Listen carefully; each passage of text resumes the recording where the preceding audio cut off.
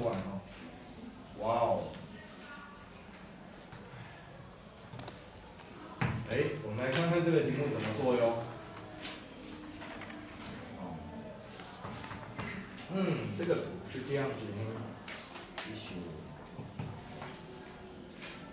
哎，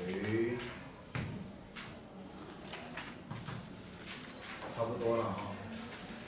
嗯，A 点坐标叫做二一。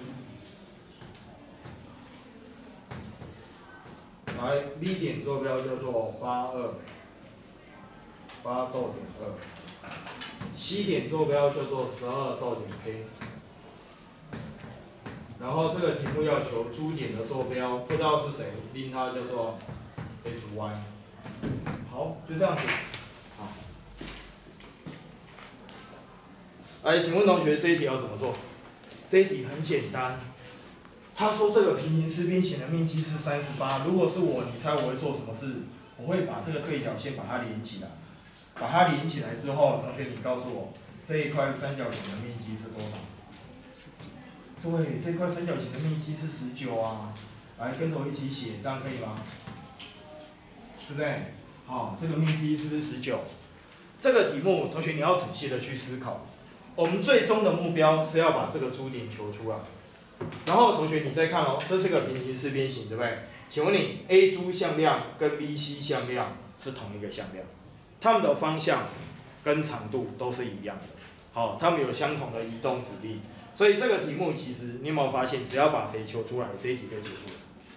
把谁求出来？你只要把 K 求出来就结束了。只要你今天知道 K 是谁，这个 B C 向量就知道，知道 B C 向量就等于知道 A 珠向量，而你的珠顶坐标不就知道了吗？所以你今天应该要集中你的火力，想办法把 K 求出来。啊，这个 K 跟谁有关系？一定跟这个三角形的面积有关嘛。然后我现在又要来问同学啦，三角形的面积在平面坐标上，如果给你一些点的坐标，我非常建议你一定要优先使用这个公式，叫做二分之一，外面是绝对值，里面是什么？行列式，来跟着我一起写。面积公式真的很多嘛，什么海龙公式嘛，嘉宾公式嘛，哦，很多很多，对吧？哦，但是我说过，我个人最常用的在平面上就是这个公式，然后里面要写什么向量？来，里面要写 A B 向量，然后这里要写什么向量？A C 向量。哇哦，哎，这样可以吗？就这样子，好，我们考虑问题的一个顺序大概是这样子哈。好，然后这里会变成二分之一。外面是绝对值，里面是行列式。来，我们看一下这个向量长什么样子吼。然 A B 向量用后面的坐标减前面的坐标，所以是六一，这样可以哈。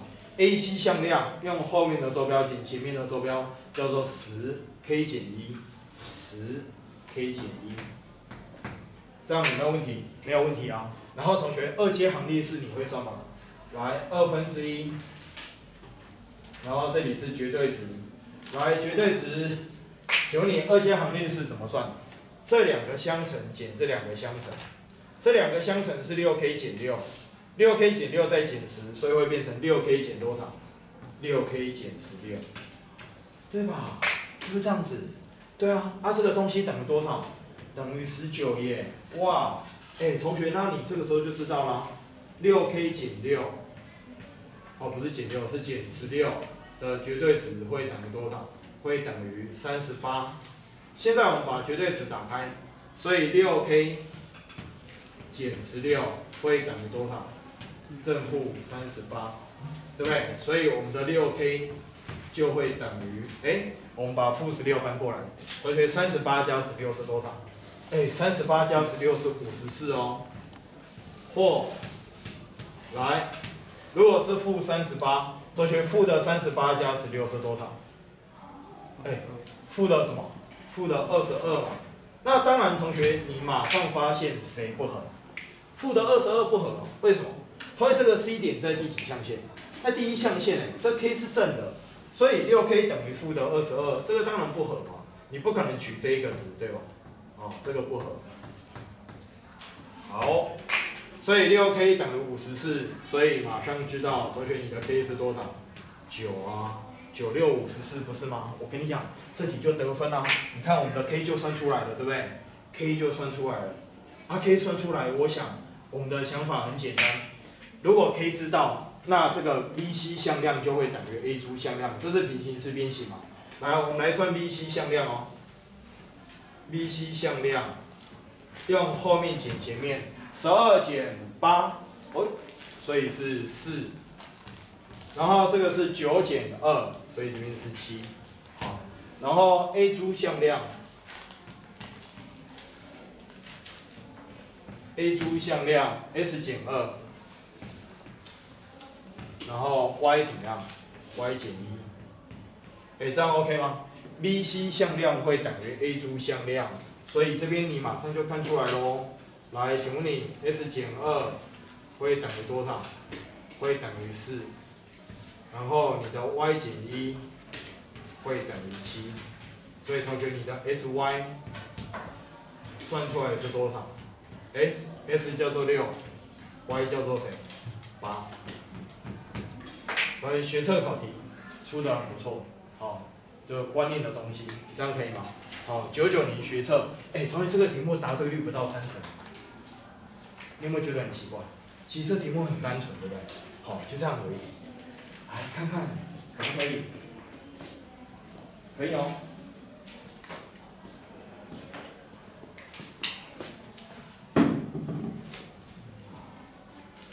没问题哦。没有问题的话，现在老师来请教同学哦。同学，这张考卷我有没有全部讲？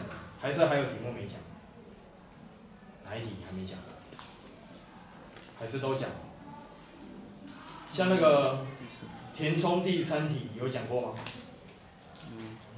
填充第三题有讲吗，那一题没有讲。好，填充第三这一个题目，我告诉你，这一题真的太重要了。哦，这个填充第三题，这个题目啊，他要告诉你，给他五个赞。啊，我认为啊，只有真正的高手有办法把这一题做出来。来，这一题哦，重要。非常重要，啊，啊你要仔细听哦，哎，好，填充第三题，他跟你说，坐标平面上有一个圆，啊，这个圆的方程式我告诉你叫做 x 减掉三的平方，再加上 y 减什么？？y 减四的平方，来会等于多少？会等于四，这个叫圆的标准式，从标准式可以看出圆心跟半径，没有问题。然后他又跟你说，在这个圆上有一个动点 P，然后呢，请问这个动点 P 满足根号下来 s 平方加上 y 平方，使得这个东西哦，它是什么？它是整数的动点 P 有几个？要让这个东西它是一个整数，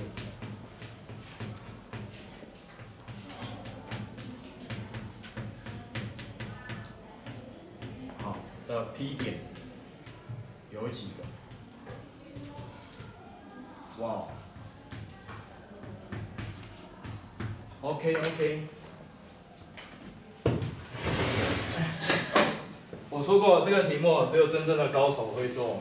那我想我们班我要用两种方法做给你看哦。哎，同学你看我这边哦。首先哦，第一件事情你要决定你的策略。请问你哦，这个东西来，我把它框起来。根号里面有平方加平方。请问你，它会让你联想到什么概念？哎，根号里面，我告诉你哦，如果那个老师哦机车一点，他会把根号拿掉，把根号拿掉，有些人就更想不到。但是我现在出题是还算蛮蛮有良心的，我根号有写出来。如果根号拿掉，那你就要把它解读成某个东西的平方。但是现在我有把根号写出来，根号里面有平方跟平方相加的结构，这个东西十之八九跟谁脱不了关系？跟圆吗？应该跟其实讲圆也对，但其实是本质上是什么？距离啊，同学，这个东西是距离的概念哦。好，把它写上去。哎，这是距离的概念哦。OK，你说老师为什么是距离？我完全看不出来。哎，我写给你看，为什么它会跟距离有关？好，我把它改写一下。这个东西叫做根号。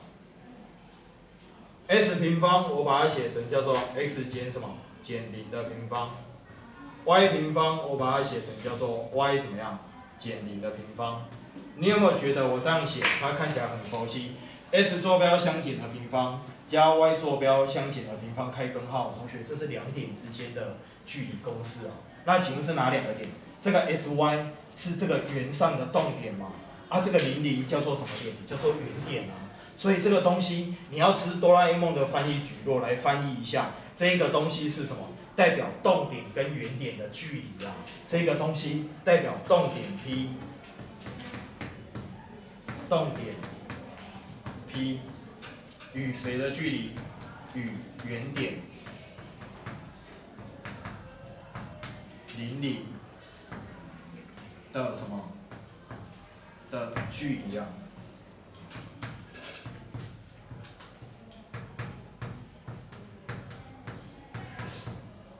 所以这个题目在问什么？这个题目在问你说，在这个圆上到原点的距离是整数的这样的 P 点会有几个？这个题目要用几何的角度来看，所以你应该知道接下来要做什么事吧？接下来当然是要画图，因为这个题目跟距离有关，我们要把它的图形找出来，对不对？来，对不起，我这里这左边这一块，好，我先把它擦掉，因为我要画图哈。哎，我的图形画在这里哦。你在考试的时候，当然建议同学哦，将来你会面临人生各种大大小小的考试哦，包括有些人会去考什么高普考啊，哦，什么什么有的没的什么考试，对不对？考试哦，同学文具很重要，像考数学的话，你那个该带的文具要带，而不该带的千万不要带了。你知道什么不能带吗？量角器不能带。啊，你知道什么可以带吗？那个上面有几何图形的那个尺子可以带。那上面有量角器的尺当然不能带，哦，你要注意就不要违规。它可以带的文具哦，就尽量带，好，好。而且图形要画准哦。这个圆心在三四，对不对？来，三四我们抓一下，一、二、三，一、二、三、四，好，来我们抓一下哈，来三四，而且这个圆的半径是二，二的话来上下左右。各抓两个单位，啊，二的话，上下左右各抓两个单位，哈，把这个圆画出来哦。来，快点，快点，哈。怎么考虑问题非常重要，好，然后你要学会怎么去考虑问题，哈。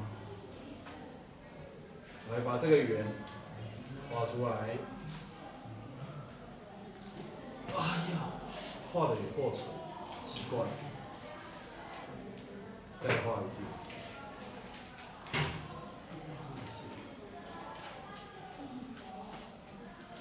好了，就差不多，差不多，这个圆嘛，去吧。OK 了，OK 了，好，把电脑好画出来。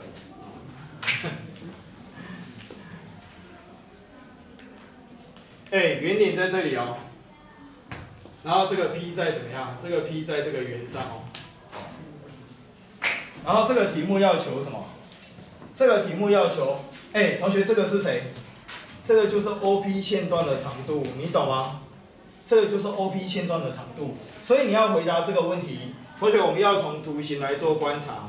请问你这个 OP 线段的长度，它的范围你能不能找出来？因为他今天问的问题是。要让这个长度是整数的 P 点有几个？所以我能不能先去看出这个 OP 线段它长度的范围？所以这个 P 点在圆上动哦，所以它一定有个上界，一定有个下界，你懂吗？它的上限不会跑到无限大，因为这个不管 P 点在哪里，事实上这个 OP 长度一定会有一个上限，而它一定也会有一个最小值。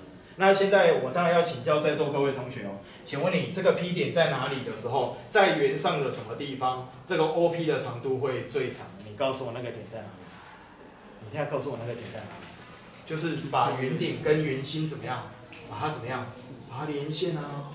这个连线，来这个连线嘛，对不对？来这个连线，同学，这个 P 点在这里，这是不是最远？对，这张长度是不是最远？啊，最近在哪里？